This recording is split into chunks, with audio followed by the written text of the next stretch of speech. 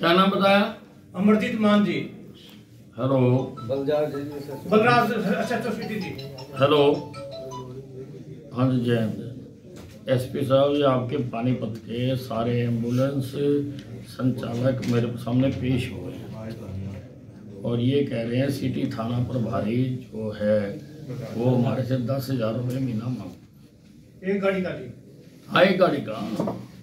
हर गाड़ी का। आपकी जानकारी में है। चलो मैं भेज रहा हूँ इसके खिलाफ करो कार्रवाई और मैं इसका भी कर रहा हूँ तबादला। क्या नाम है? नाम तो लिखा नहीं वो हम्म?